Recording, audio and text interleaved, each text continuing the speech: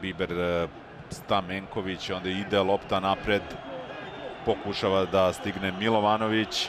I sada može da bude opasno Milovanović. Velika je šansa za radnik. 1-0. Vode gosti.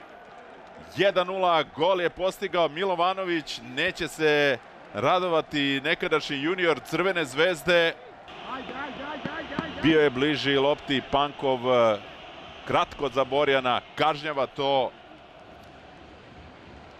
Uroš Milovanović i momak koji je rođen 2000. godine postiže gol